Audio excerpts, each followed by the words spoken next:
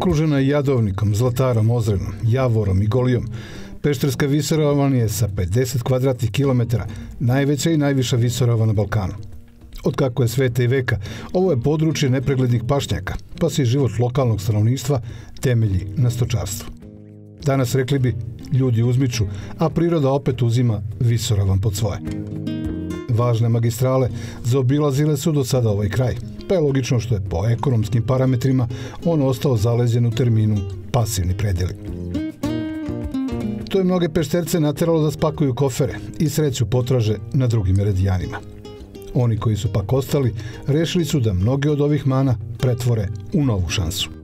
Od kako je 2015. godine ovo područje steklo status rezervata prirode, stekli su se istinski uslovi za razvoj jedne od planetarno najsnažnijih privrednih grana – turizma.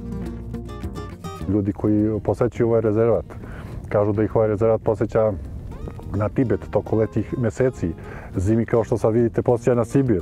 E, najniža temperatura koja je izmerena je izmerena ovde 2005. godine bila je minus 41 stepen. Suštinski cilj samog rezervata jeste da se očuva životna sredina, da se to nasledđe prenese na sledeća pokoljenja. A što se tiče razvoja turizma u okviru rezervata, mi smo za tim u nekom ograničenom broju da ne bi e, narušili to stanje u prirodi.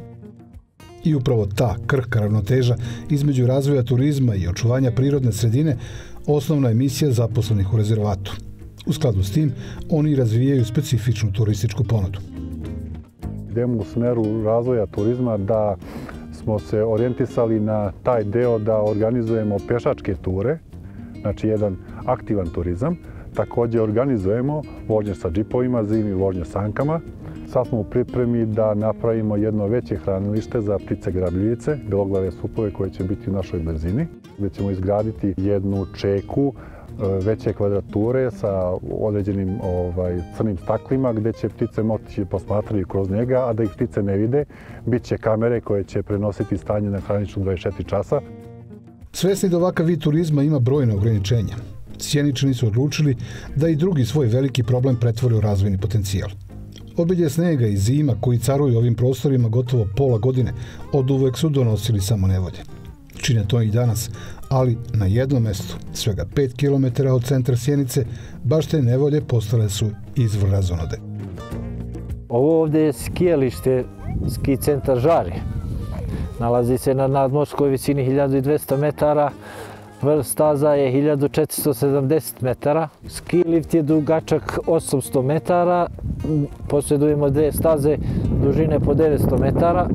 Više je snijeg i nije da kažem teret ovde ljudima na Pešteri i ovaj ono što je naj, najbitnije da mlade ljude i ovaj naše decu usmeri ka tim zimskim sportovima jer Sjenica je poznata kao ovaj jedan planinski grad sa, sa dosta snežnih dana i sa dosta niskim tim temperaturama i ljudi se zatvore u kuće, ovako, ovako imaju mogućnosti da malo izađu napolje.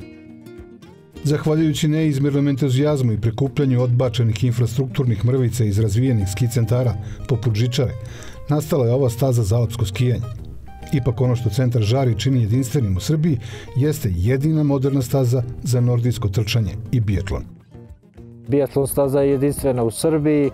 Biatlon staza ima i ljetni i zimski program. Skijanje ima na rolke. Voze se roleri ovaj, u ljetnem periodu. Staza je, ima asfaltni deo od 2,5 km i ima u zimskom periodu od 4 km. U biatlonu imamo dosta napretka u, u tim sportovima većina reprezentativaca Srbije je iz Sjenice, zahvaljujući tom terenu. Od razvoja ovakvih vidova turizma u Sjenici očekuju da oni znatno doprinesu i razvoju sela i njegovih stanovnika. Ljudi koji su daleko čuveni po specijalitetima kakvi su sjenički sir, pršut, suđuk i ovčija stelja, od uvek su imali jedan golemi problem – plasman svojih proizvoda.